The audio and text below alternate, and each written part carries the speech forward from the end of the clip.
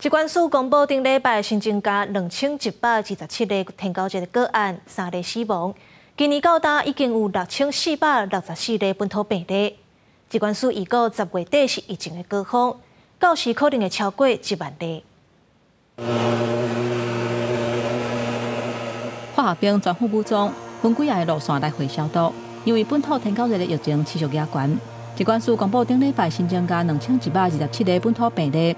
还有三例是本土天高热死亡的个案，拢住伫台南市，年岁伫四十外岁到七十外岁，拢是男性。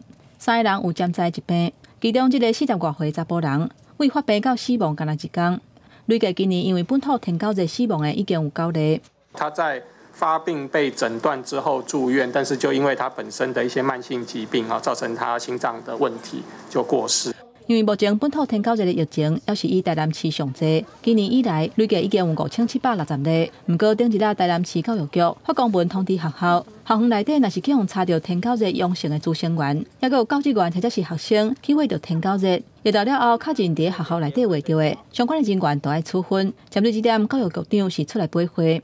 或许大家会觉得说是不是太严厉？但是说实在的，我们也不是把那个行政惩处当做呃主要目的。基本上，我们到时候也会看学校是不是确实去落实。早上七点四十开始打扫，我们的老师就带着学生第一线去做所有的知青的工作。那八点扫地结束以后，我们就会带着主任全校再巡视一遍。到目前为止，国内本土天九日的病例已经有六千四百六十四例，是十年来第二关。疾管署表示，受到每一年气候甲降雨量，还有慢性疾病情形无共款，按算十月底时阵会到高峰。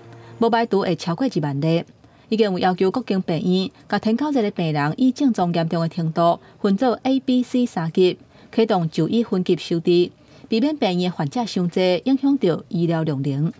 记者综合报道。